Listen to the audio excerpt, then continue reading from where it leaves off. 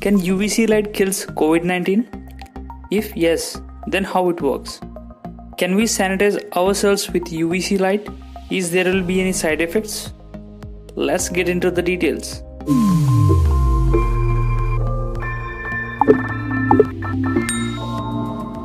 UVC light kills 99.99% bacteria and viruses including coronavirus. So, we can use this UVC light to sanitize at hospitals, aeroplanes, buses at bus station and more. Okay, let's see how this UVC light works. The moment when UVC light is exposed on the viruses and bacteria that leads to damage of the DNA cells and death of the viruses and bacteria. We cannot use this UVC light on human bodies.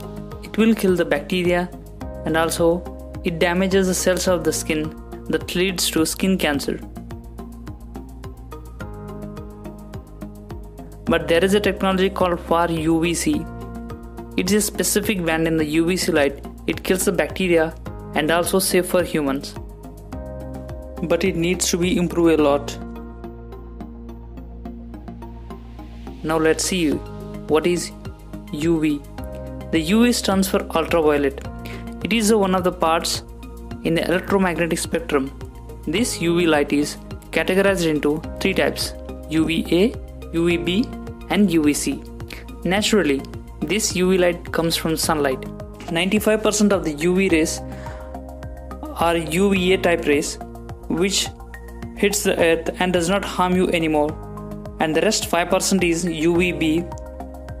If UVB is exposed more on the human body, then there will be chances of skin cancer and sunburns. And the UVC, which is more harmful than UVA and UVB. But this UVC is absorbed by the ozone layer, water vapors, and gases like oxygen and carbon dioxide. So, we have created this UVC light with the help of mercury bulbs and LED lights to kill the bacteria and viruses. Thank you for watching. Please do subscribe for more videos.